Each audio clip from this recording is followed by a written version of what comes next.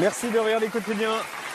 Alors Asdine, on m'a dit que tu venais ce soir avec une grosse enquête qui t'a pris plusieurs jours. Et cette enquête, c'est sur le couscous. Connaître au moins l'origine du couscous, là où il a été inventé. Comme la question est importante, direction l'université. Et on a rendez-vous à la, à la fac de Saint-Quentin en Yvelines avec un professeur agrégé et docteur en histoire, s'il vous plaît.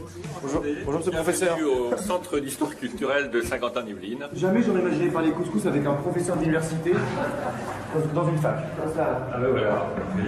Tout peut, tout peut arriver maintenant. Alors, Denis Saya est ch- chercheur, spécialiste des questions de culture et de gastronomie. Le couscous à l'UNESCO, il prend ça très au sérieux. Il y a tout un cérémonial autour. Et dans la préparation, euh, c'est un plat complexe. On peut rater un couscous euh, assez facilement. Vous êtes en train de dire, par exemple, que ma mère est une artiste Oui, mais tout à fait. Question sensible. À qui peut-on attribuer la paternité du couscous? Où le couscous est né? Les toutes premières traces qu'on a trouvées euh, euh, seraient plutôt en Algérie.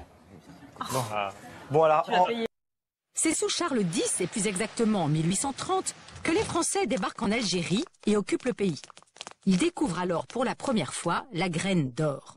Mais il faudra attendre la décolonisation, le rapatriement des pieds noirs, ainsi que l'arrivée d'immigrés venus d'Afrique du Nord dans le début des années 60 pour que le couscous s'installe définitivement en France.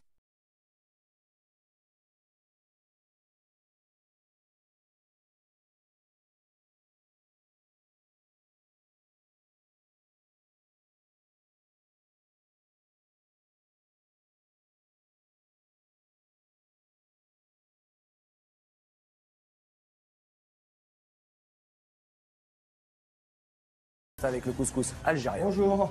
Oui, on est en mode presque mille et nuit ici. Hein. Ouais, c'est ça, Bon appétit, tous. Oh, mais cette cliente, je la reconnais, c'est Simone Hérault, la voix de la SNCF. C'est qui fait toutes les annonces. Le couscous en provenance d'Algérie ne va pas tarder à entrer sur votre table. Un couscous SNCF, il va sûrement arriver en retard, je suis sûr. Mais non, il est là, je suis mauvaise langue.